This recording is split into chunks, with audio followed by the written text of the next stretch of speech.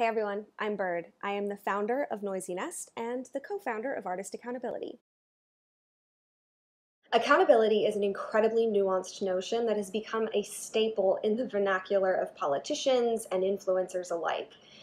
Because of its seemingly overnight surge in popularity, it has become a very watered down version of itself and thereby holds very little weight when enlisted for its truest intentions.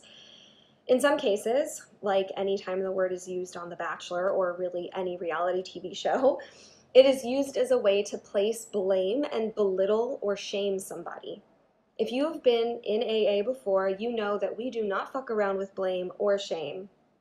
Accountability is on its way to becoming the new literally, which literally means figuratively now. Over the years, I've been trying to reduce accountability down to its truest state by lots of personal trial and lots of personal error. Here's where I stand now. Accountability is the practice of ownership plus action.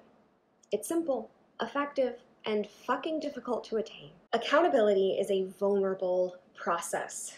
To truly step into accountability, you have to be brave enough to confront the absolute truth of every single scenario the good, the bad, and the ugly. It can only be achieved by someone who knows themselves, their processes, and their abilities.